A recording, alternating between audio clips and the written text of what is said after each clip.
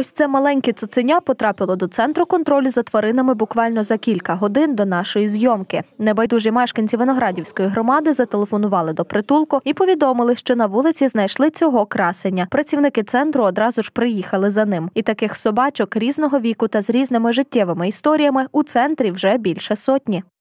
Много выбрасывают собак, э, много выбрасывают даже слепых э, щенков, еще, ну, то есть выбрасывают на смерть. Э, Не знаю, им то ли лень утопить, или, ну, я, я не понимаю, почему так делают, хотя мы со всем городом, со всеми разговариваем и всем предлагаем, что пока мы существуем, город оплачивает, и мы готовы всем бесплатно даже делать стерилизации, если люди малоимущие, то есть это ну, ни- никакого, буквально там простенькое заявление, что, пожалуйста, сделайте, и мы Про всіх собак тут дбають. Деяких вимушені залишити тут і шукають їм власників, інших віддають туди, звідки забрали. Всех лечим, всех вакцинируем. Если старше 6 месяцев, то всех стерилизуем и кастрируем.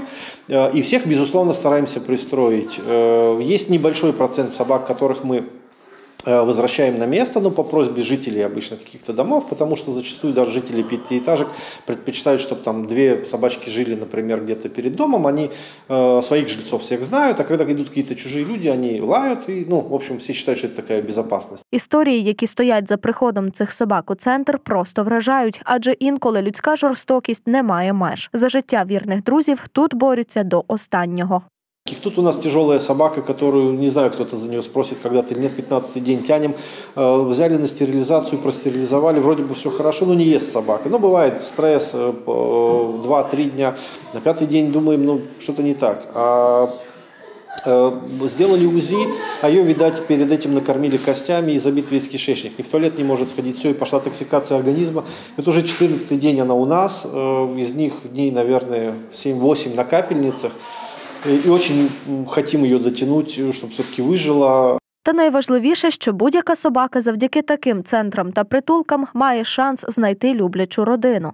Была у нас достаточно э, агрессивная овчарка, э, и мы не- тоже не знали, как, э, как ее, ну то есть проблемы комнаты занимает, э, выпустить гулять, то надо всех убирать на, на парковку.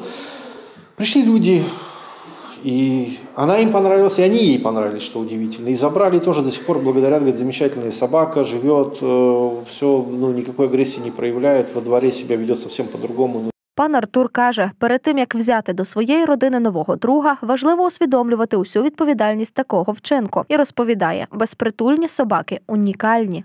В Европе мы недавно списывались, буквально уже началась когда пандемия, с коллегами из Австрии, из Вены в частности, и они говорят, что э, породистых собак говорит, много, эти одинаковые, а вот э, дворняги уникальные. Насколько я знаю, в Вене уже, эм, э, если вы придете, скажем, стаффордширского терьера забирать, вам его отдадут бесплатно, а если вы придете и будет щенок дворняжки, они там, ну, если они маленькие, то где-то 300-400 евро за щенка, потому что уникальная собака, ни у кого такой нет.